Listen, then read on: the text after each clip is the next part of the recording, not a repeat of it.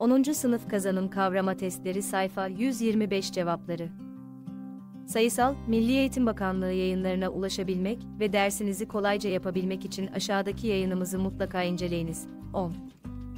Sınıf Kazanım Kavrama Testleri Cevapları Sayfa 125 Sayısal 1. Asit ve bazların sindirim sistemimiz üzerine etkisiyle ilgili olarak I. Vücudumuz sindirim sırasında asidik ve bazik salgılar üretir. 2. Mide öz suyunda hidroklorik asit vardır ve antiseptik etki gösterir.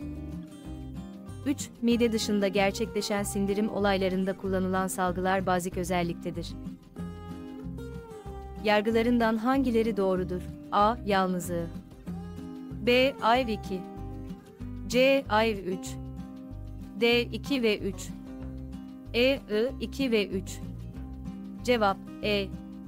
İkinci verilen güvenlik uyarı işaretinin anlamı aşağıdakilerden hangisidir? A. Yanıcı B. Tahriş edici C. Aşındırıcı D. Zehirli E. Yakıcı Cevap C.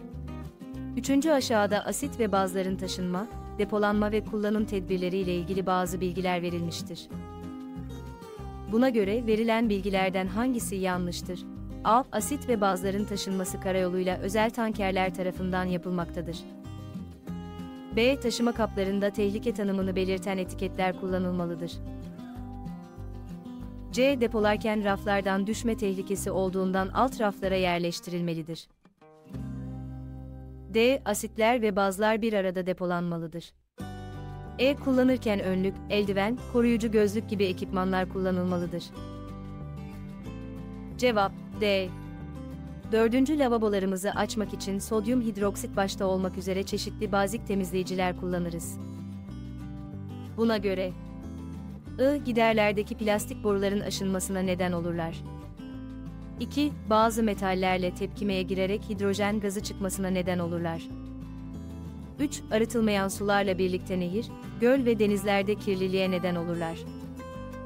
Yargılarından hangileri kuvvetli bazların aşırı kullanımının olumsuz etkileri arasındadır?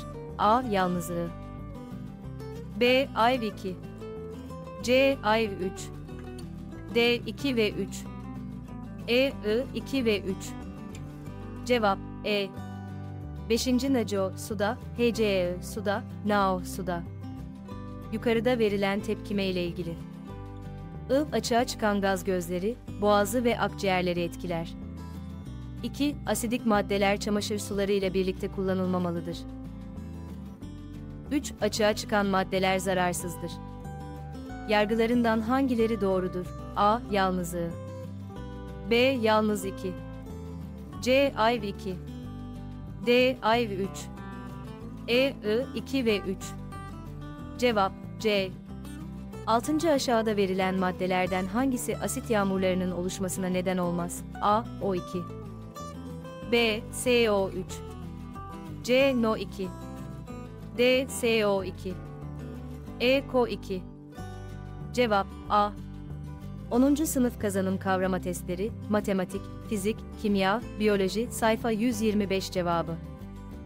ile ilgili aşağıda bulunan emojileri kullanarak duygularınızı belirtebilir aynı zamanda sosyal medyada paylaşarak bizlere katkıda bulunabilirsiniz.